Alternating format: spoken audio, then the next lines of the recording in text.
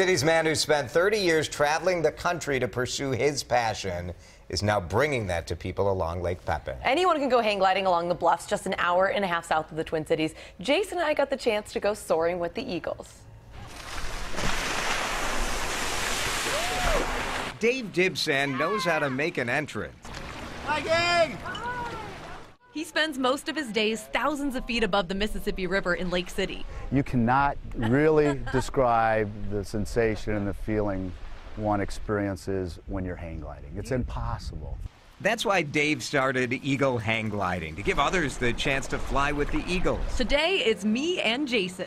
This is a perfect day. We couldn't have hoped for a better day. It's beautiful. Woke up this morning and went, ooh.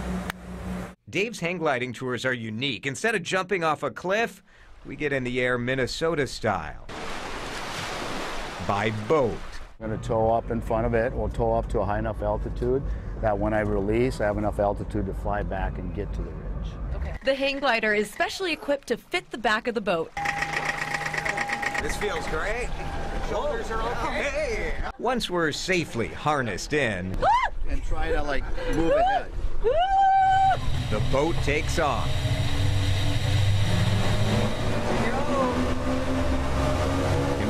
In the air.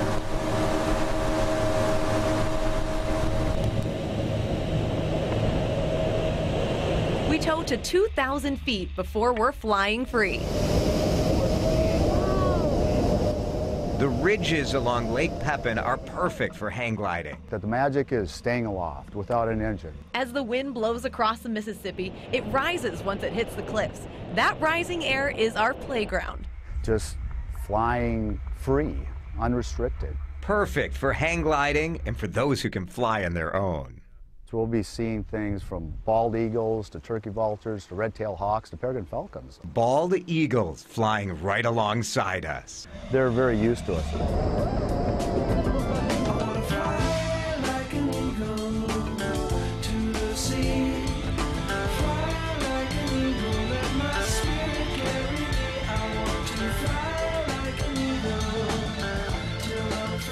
When it's time to land, it's an easy glide back down to the water.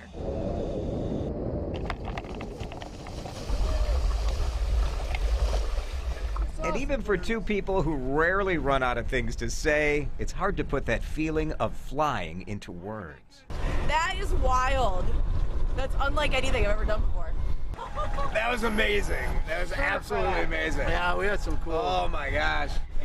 That feeling of like of being at one with the sky and birds flying all around. It's awesome. It was awesome. Yeah. Uh, there are two packages that they offer. You can spend 15 minutes in the air, kind of a shorter flight. You mostly stay like you go up and then kind of float a little bit. Uh, that's $150. We did the half hour experience where you really get to ride the columns of air up and down. Yeah, and, that was pretty cool. It wasn't was really neat because you learned, like we learned about in school, like when you get the air and the rising air, but it goes in the cliffs, and then you literally are just going alongside. You catch the air again, you go back to the other. It's it's such an experience. And that's $250 Mm-hmm. for that uh, package. I will say your, the experience can be different, just uh, it's sheer luck. Right. So Kylie went up see. first, and you only, you saw like one eagle. yeah, I saw one bird, which was, I mean, it was still really cool. It's we were eagle. right above That's it. awesome, right? Yeah. So when I went up after her, uh, I think I saw about six or seven. Oh. How, how close do they get? They were, they're not, well, I had two eagles right below us. Oh, so you you're did? looking below and you're like, whoa, they're right down there. And then uh, as we were kind of riding the columns of wave in between two bluffs, we went down the columns of air and then came up. And when we came up, it was like an eagle playground. There were Yeah. like seven of them Whoa. up there just hanging out. We saw that from the boat. We were like, whoa, there are just eagles all around. They're very used to him. He's, he's out there all the time. Scariest part for you? I, so I have a fear of heights. So Yeah. this was like a very difficult thing for me to do, but it's the towing up that I thought was a little scary. Once you you're up there, it's fine. All the way up to 2,000 feet. Yeah. It's Pretty pretty, high. That's Uh, high. it takes about 10 minutes, I'd say, to get like fully Oh, okay. five. Well, You're the, Do I have that right, or is that- is that my 10 minutes terrified is a mind? little, but the, basically, you have the length of the lake where the boat keeps towing you, Okay. and up you And go, then once and you're then it releases. and once you let go and you're floating, it's actually pretty nice. Okay. Yeah. All right. Good.